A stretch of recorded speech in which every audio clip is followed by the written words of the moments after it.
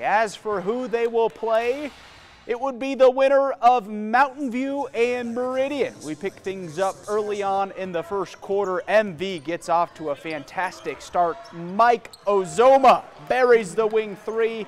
Mavs up 7-2 early. We move to the second. Dallin Perrin. All three of those. Mountain View had it clicking early on. They go ahead 21 to 7.